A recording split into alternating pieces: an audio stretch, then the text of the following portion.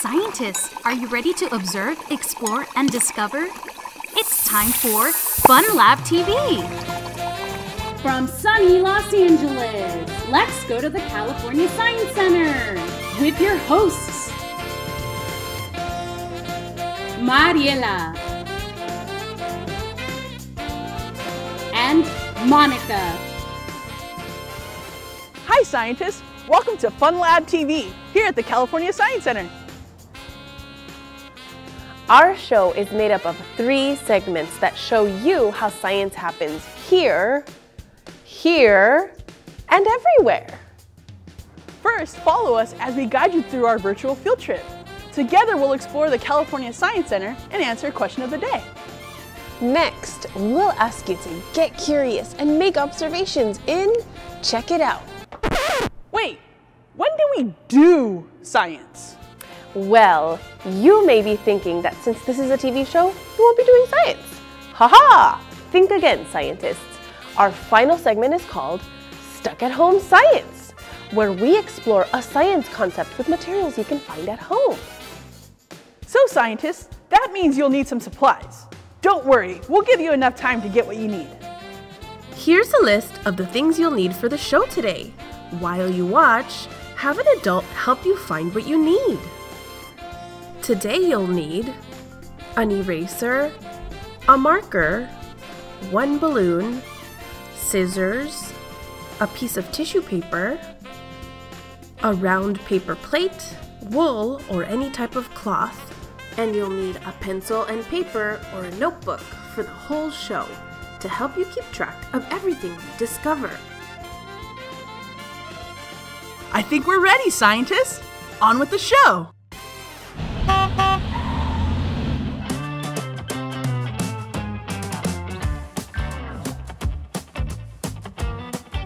Hi, scientists. Welcome to virtual field trips at the California Science Center. Before we get started, there are a few things we need to go over.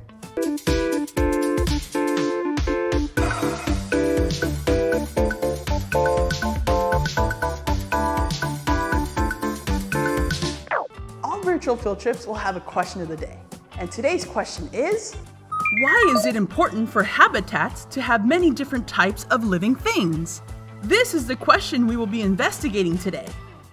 Free to draw or write notes in your notebook to help you answer the question.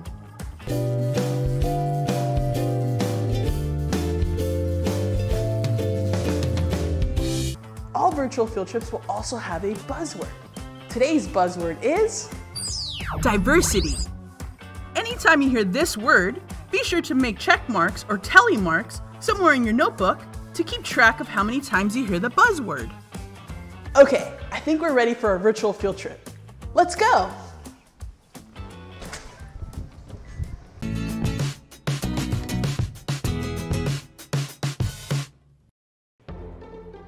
Let's start in the LA zone.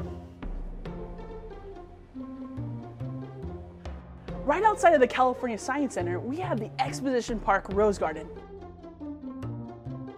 Let's use this telescope to take a closer look. As you make these observations, make a list of all the living things that you see. Okay, scientists, let's keep an eye out for all the living things we can see. Hmm, see anything here?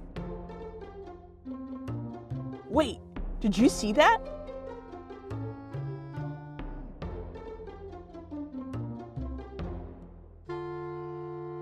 Is that a living thing?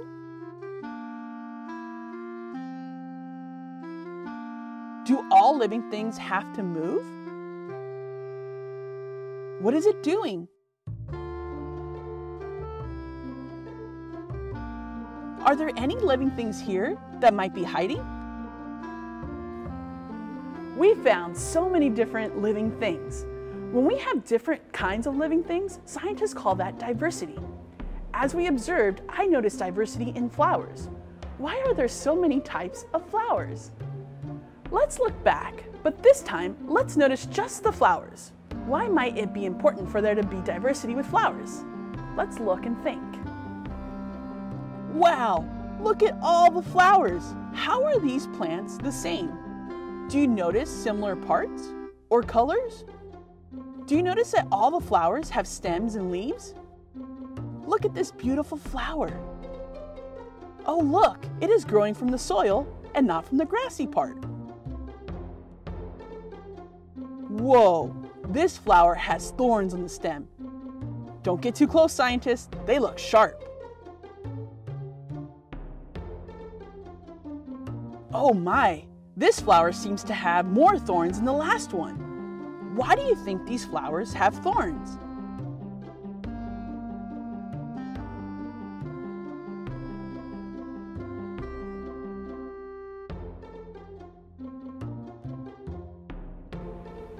Wow, I didn't realize there were so many different kinds of flowers with so many different colors and shapes.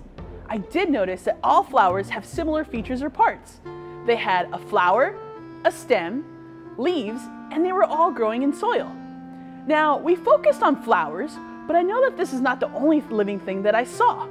The rose garden has so many animals that live in this small habitat. I wonder how they all got there.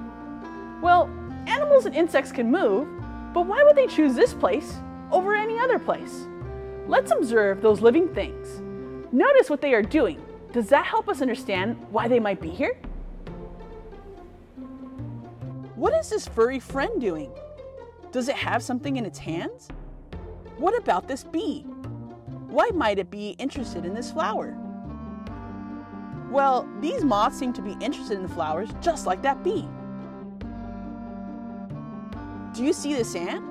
Is it holding something? Gross. Is that what I think it is? Well, those flies seem to be attracted to it. This squirrel, just like all the other creatures we found in the Exposition Park Rose Garden, seems to find what it needs to survive here. All of the diversity in plants seem to be attracting a diversity in living creatures. Do they just take from the plants without giving anything in return? Actually, the plants rely on the animals for a process called seed dispersal. As the animals eat, they are helping to move the seeds of these plants from one place to another. Since plants can't move, they rely upon living creatures to help them move their seeds. And yes, scientists, even animal droppings can help move seeds. When they are moving the seeds, they are making it possible for more plants to grow. But not all plants have seeds that animals move. How were the bee and moth helping the plants? They help through a process called pollination. Pollination is when animals in an environment help to move pollen from one flower to another to help new flowers grow. Animals like bees, birds, butterflies, moths, and even the wind can help with pollination.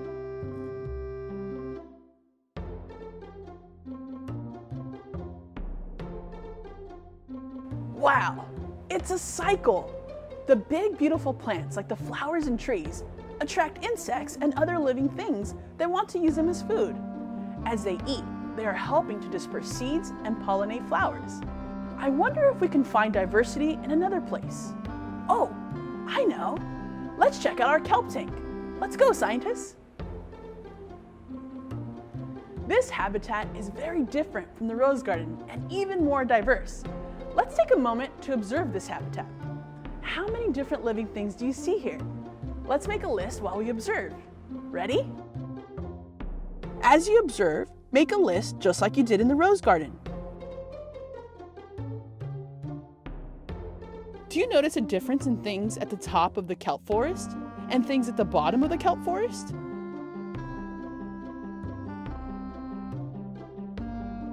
Are all the living things in this environment moving in the same space?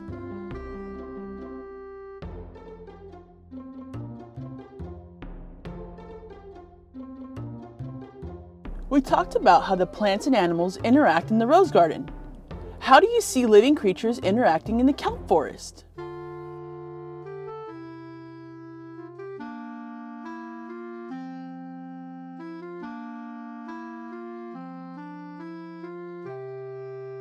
Do you think seed dispersal and pollination happen in the kelp forest?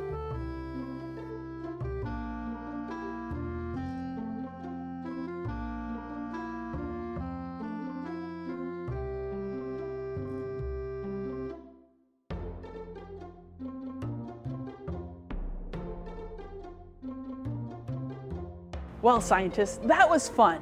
And it makes me think of someone who can help us with our question. Come on, let's go.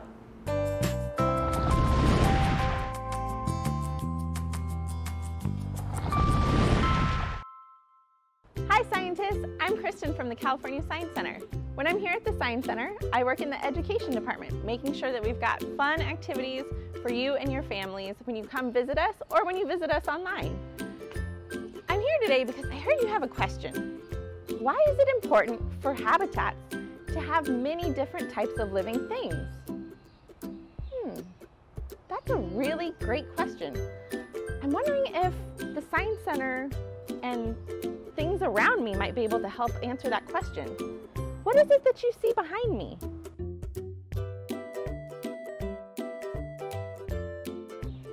That's right, there's a ton of plants behind me. And this area of the Science Center is right outside of ecosystems if you come to visit Space Shuttle Endeavour. So take a look around at these plants. What are some things that you notice about them?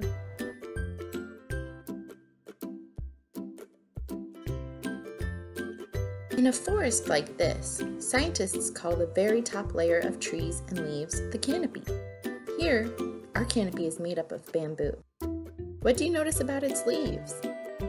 They are very thin since the plants have access to a lot of sunlight. They also let more light through to the layers below. As we move down through the layers of the forest, these leaves are a lot bigger so that they can catch more sunlight. They are also a lot longer in addition to being wider. When I look underneath this plant, I see little tiny brown dots.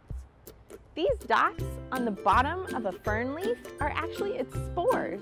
That's how ferns make more ferns.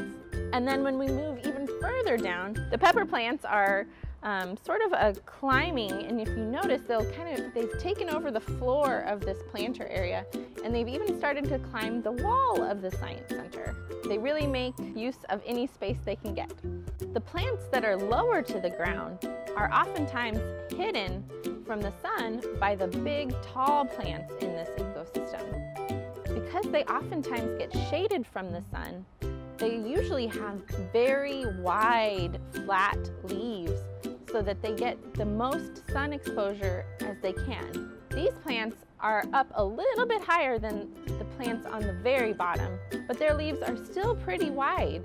This also helps them to catch water and divert the water towards their roots. We talked earlier about how ferns make more ferns by using spores.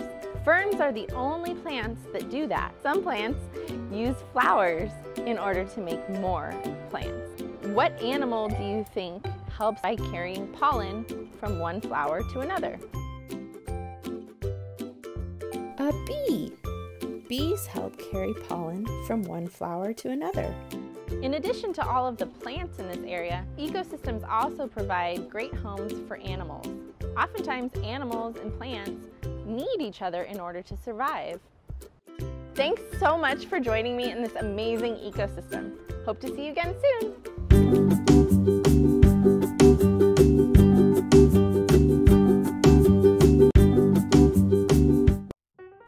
Time for our science sketch. And you might be wondering, why are we drawing in a science video? Well, there are a lot of reasons why sketching can help us with our science learning. As you draw, you may encounter new ideas.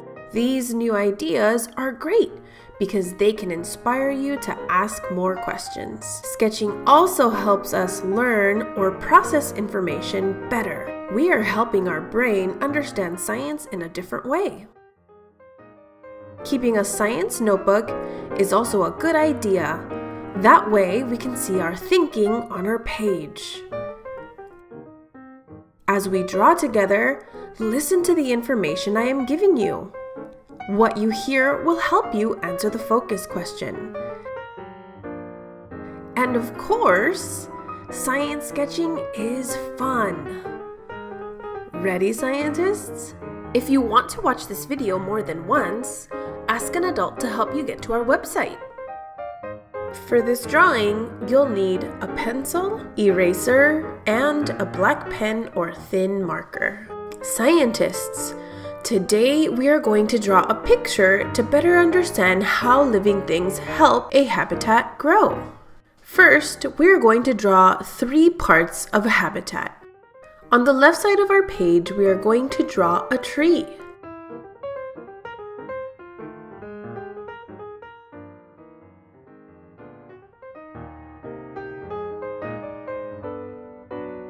Next, we are going to draw a squirrel. Start your squirrel by drawing a number 3 and extend the ends like this. Now we can add a nose, its eyes, and ears. In this open section, we will draw its hands. Now its feet. And finally, a fluffy tail.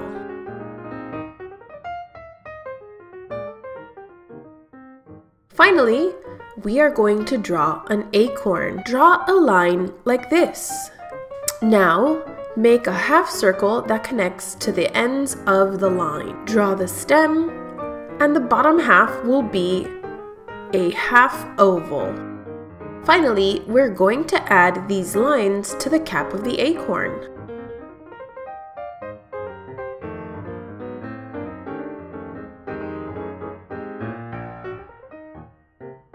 Let's use our black pen to outline our drawing and learn about how these living things connect. Plants and trees are important in a habitat. Big trees like this are great places for animals to find shelter.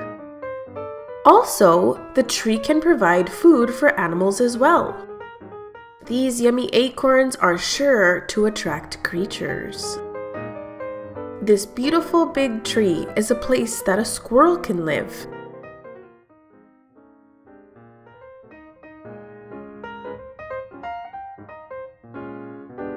While it seems like the squirrel is getting a lot from the tree, the squirrel is also helping the tree. The squirrel will help to move the seeds of the tree.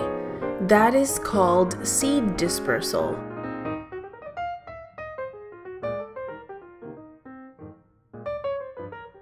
And it happens in many different ways. Maybe our squirrel friend has too many acorns in its hands and it drops a few as it runs around. Or maybe the squirrel will bury some of the acorns to save for later. Or maybe we will find bits of the acorn after a squirrel has digested it. These are all possible ways that a squirrel can help the tree.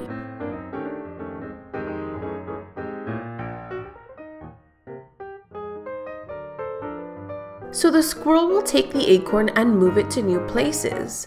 And now this little acorn has a big job. This acorn is a seed that will grow into a new tree. But it will need some help.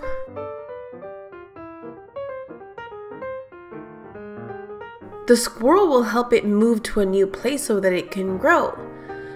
But it also needs sunlight, water, and time. Once time has passed, it will grow into a big, beautiful tree.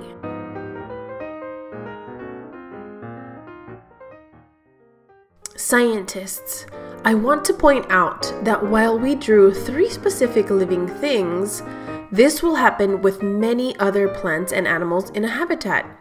Seed dispersal is one way a habitat can grow and change. Let's add a title. Now that we have a finished picture, how do you think this helps you answer the focus question for the day? Remember to add color because science doesn't happen in black and white. It was fun drawing with you, scientists. Before we go, check out these scientists and their finished drawings.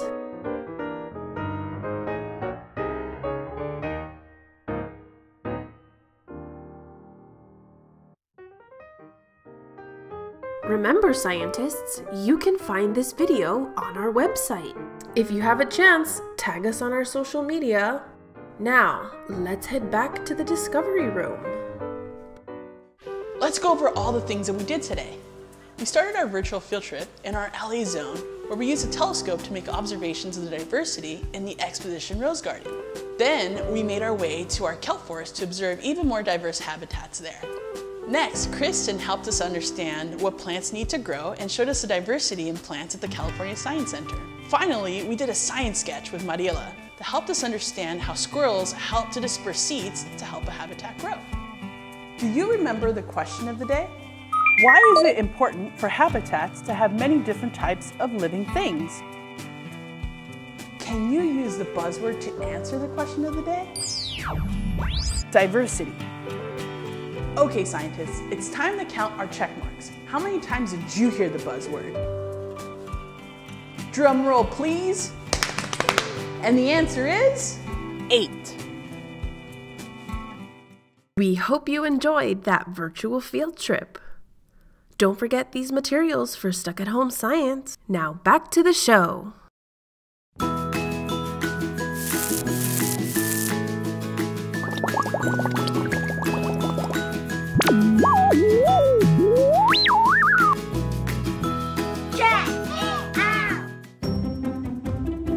This is a real lobster and it is alive. However, you may notice it's not moving at all. That's because this is a lobster molt. This is similar to when a snake sheds its skin. So what you are looking at is its old bones. The way it's able to do this is that it separates its carapace from its abdomen. This will create an opening just big enough for the lobster to squeeze out. You can see the process happening here. Once a lobster exits its old exoskeleton, or exuvium, it's soft and very vulnerable to predators. It will also absorb water to make itself bigger. It will then start hardening its new exoskeleton. Once it has finished this process, it will release the excess water and shrink down inside its new bones, allowing it room to grow. Hope you had fun. See you next time.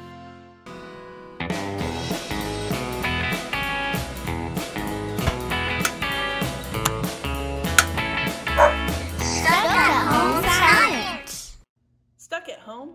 Let's do science. Check out how we experiment with electricity. This is our Tesla coil. It is made of many parts, but the three main parts shown here are the primary coil, made of thick copper, the secondary coil, made of thick copper coil spun hundreds of times around a tube, and the torus, which is made out of aluminum. As the Tesla coil is turned on, the primary coil passes a current, or a flow of electric charge, to the secondary coil. The charge builds up on the torus, and when we bring our grounding stick near the torus, we can see a discharge that looks like lightning. The purple bluish color is due to the nitrogen and oxygen molecules in the air. The Tesla coil also sends an electromagnetic field that can turn on a light bulb, but the field can only go so far. And this is our Van de Graaff generator. Much less dangerous than our Tesla coil, but just as electrifying. As the belt inside spins, it creates friction, which produces static electricity. That static electricity can be discharged like this. It can also make things fly off our hands like this.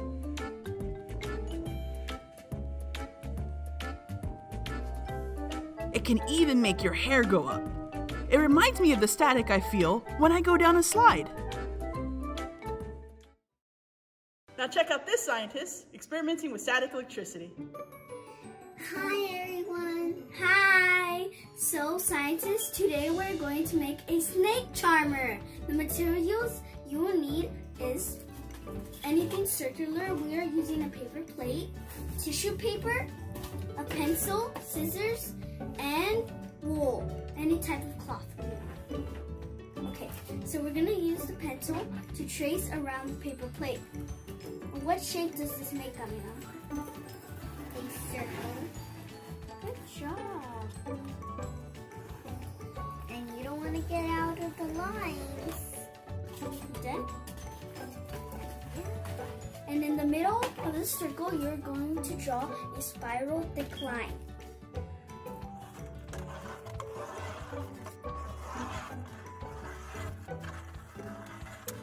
Then we're going to cut out our snake. We have finished cutting the snakes and we decorate them with pastels. You can decorate them or leave it blank. So now we're going to rub the balloon on the piece of wool.